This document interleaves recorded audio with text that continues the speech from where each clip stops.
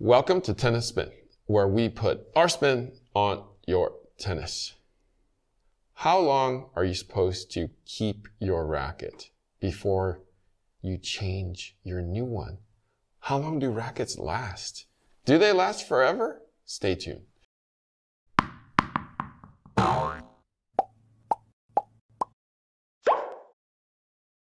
All right, guys. So there are always rackets coming out. There are new versions coming out every two to three years. Um, you know, here's an example. We had VCore Pro, change into Percept. Um, new Prestigious just came out. I just got my Blackout 28. So there's always new rackets, you know, to entice you to get a newer version or a new racket. But how long does an existing, your existing racket last? Um, Coach Rob is here. Coach Rob loves his pro staffs and he still uses one from, I feel like eight years ago. Uh, I think I'm being generous with that, but, um, Gets the job done. Yes, and and prior to me going to Solinco, um, I used my clashes for four years, and then before that, I used uh, my Wilson 44s, 95s for literally 14 years. Wow. Uh, yeah, but I, I mean, I kept buying, you know, used versions of them because they kept cracking or they wore out. Um, so the question of the day is, you know, I see your pro staff is worn. It's not, it doesn't look cracked or fractured or any, you know, anything like that. It's worn out. Yeah. That it, nothing structurally broken with it. Um, how long? It's would, fine for teaching. Okay, but how long would you keep a racket like that? So, so my question to Coach Rob before we started was, if a student were to ask you, um, how long should I keep my racket for? Well, it depends on on age. You know, some when you have juniors, you know, they go from the 25, they're playing orange ball, then they go to the 26, they're doing green dot, you know, full size racket. Then they're you know getting older, so they're advancing. Mm-hmm. Their games are improving. They're going to need uh, a racket to kind of match their um, uh, level. Right. And then as they hit, you know, high school, let's say, boom, you're, um, you know, you can use that for four to six years, give or take how you treat it and continue on with that. I have a student that, um, has, uh, blade, I don't even know what it's like since high school. He's now senior in college and he had two of them and now one's broken and now he's down to one racket and we've been telling him for the, probably the last four years, it's time to, move on from your old blade and start trying the newer blades and then the new b- version wasn't didn't suit him and then he's like come wait for the next one and then i kind of like that one so he's you know one of those that just can't pull the trigger but uh, but why can't he pull the trigger what is his reasoning that's a good question we'd have to actually ask him that one i okay. think he just you know sometimes he can't always you know, now he's off in college. He's, it's hard to get to a shop where, hey, can I try the newest racket? Um, you know, they, as I told him, you can do it online. they send it to exactly. you.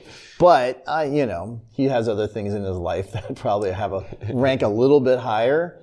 Uh, not if he's playing on a college team or on the club team. But, correct. But, but, yeah, that he's not. So okay, so the priority isn't tennis for him. That's right. probably why. Um, I but feel, he plays two to three times a week. So I feel like we've tried to help him already. We have. We tried to give him the new version of the blade, and what did he say?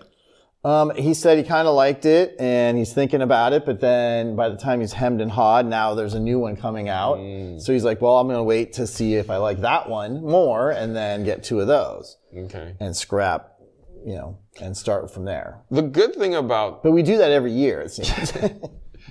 yeah, I'm part of that process. Um, the good thing about a blade and his um, situation is that there is blades coming constantly, so they're not actually going to discontinue that line. Right. You know, for me, that 4-4 hyper hammer in a 95, right? they, they didn't make a new one. You know, I had to get it from secondary markets and I had to keep buying them from secondary markets because nothing else on the real market, uh, sufficed. It wasn't close to that racket stiffness, the head size, uh, you know, but, and, and I understand if you're in that situation that you can't change or don't want to change until you find what would suit you. So, but in this situation, there's always going to be a blade. Right. literally.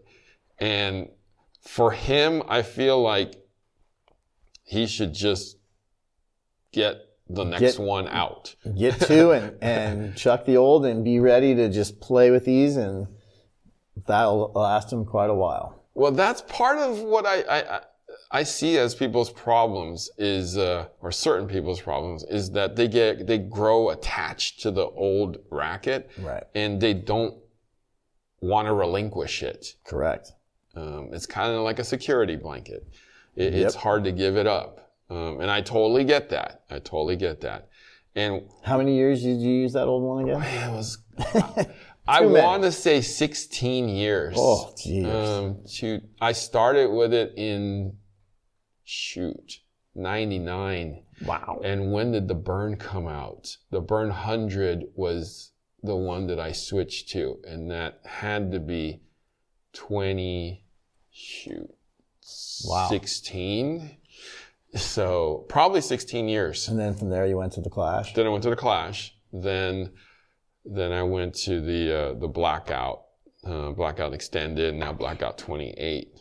But I'm usually not one of those people who um, switch rackets very often. You know, as you know, 16 years. You know, it, it's part of your right arm at that point. Right. So, and I think that's where. Wait, let me ask you one quick question about your guy. Um, is he ultra sensitive to things in general? Like, can A he, little bit. He he uses NXT control. Um, he is you know sensitive on. He doesn't like the poly. He doesn't want anything too stiff on his arm. So he and he's always and like so without NXT control, fifty five pounds. never waver, Nope. not even Not say, since I've known him. oh, okay. So that's probably going on eight years. So he likes what he likes and he knows what he likes.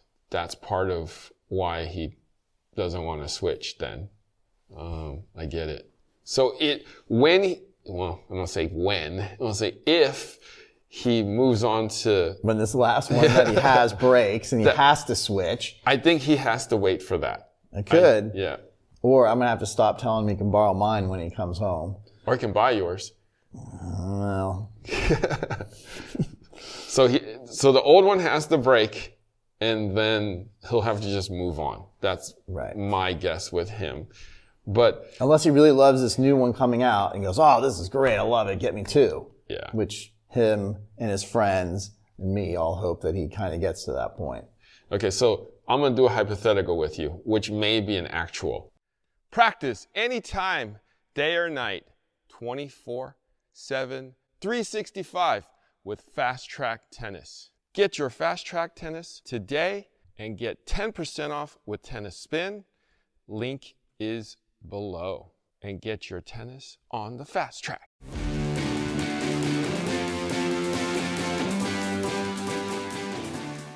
new student of yours, doesn't matter man or woman, um, coming back to tennis after 10 to 15 years, you know, we, we played in high school, we might have played as a young adult, we have a career, we had, we have Right. kids, and now I have time to play tennis with you.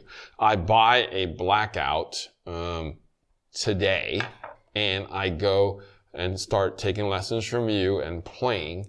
Now, how long in your opinion, before I replace my blackout? Uh, for that student, it may last them quite a while. They may not play that often. They may play once, twice a week.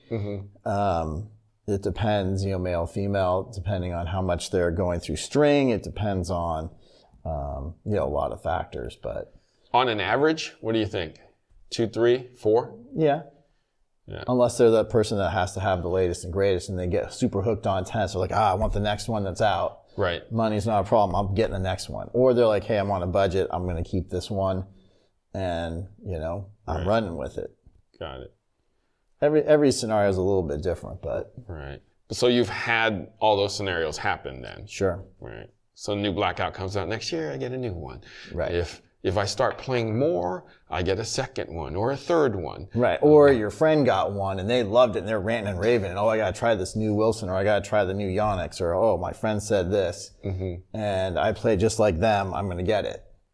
Um, So in your opinion, racket, rackets don't really wear out, wear out unless you crack it. Yeah, unless you're stringing a lot, and your com- you know your your tension is uh, you're you're sh- you're bending the frame more or less, going in and out with your tension. Um, it's being uh, played with at a high level, hitting a lot of balls, and you're playing all the time. At some point, you're it's going to fatigue and Let's see that beat up racket of yours. and it, and it may the bumper guard starts to go. oh yeah. Um, you can't replace it. You know, all those things that, you know, lead to um, time to where it says it's time to change. I mean, this structurally is still sound. Um, what Coach Rob is talking about is when you string, the racket actually compresses one way and then compresses the other way. Uh, so it does soften up the frame. And then when you strike the ball, you know, thousands of times, uh, whenever you play, it also softens up the frame. So if you get the same racket, I mean, this is easily eight, nine years, That's 10 old. years old, right? And, and you get the newer version of this today, it would feel like a different racket. I mean, the swing and the balance would all be the same. At impact, this will absorb. This will flex more. The new one will be firm and provide a little more stiffness, which means it'll provide a little bit more power. So that is the difference. Like if, if even one year, one year, if this was, um, a year old and I get a new version of it, the new one will definitely launch the ball harder, give me more power. Uh, just because, like I always tell people, this racket, since you bought it, has had to hold, I mean, in my case, 55 pounds of tension um, and dropping since I bought it because it never, ever gotten unstrung and rested before. So imagine if you had a 50 pound, five pound weight on your head for the rest of your life. You'd compress Okay. and get shorter. right? So, and probably wear out just like a racket. All right. So it's time to sum it up. Let's sum it up with ProTek. All right. ProTek most durable watches. Illumination for 25 years. Go underwater with it, guys. 20% off for you guys. Link is below. Get your ProTek today. I got my orange. Coach Rob. Ooh, I love that black on black. All right. So the racket, I mean, I feel like if a racket isn't cracked, you can keep playing with it. Um, it just depends on your tolerance level. Right? Comfort, feel. Correct. I feel like rackets are more comfortable after it's used and softer, right? Because it's, uh, and then, but you can also argue that because it's softer, that there might be more vibration going through it too, because it's flexing more and, and kind of doing this thing. Yeah. After the ball releases, it's doing this more versus just, you know, like that, staying firm. There we go. But whatever your tolerance level, whatever your budget, there's a racket for you. And there's hopefully future rackets for you too. Coach Rob, thank you so much Sure. for analyzing the length of racket stays today. You got it. All right. Guys, thank you for watching Tennis Spin, where we put our spin on your tennis.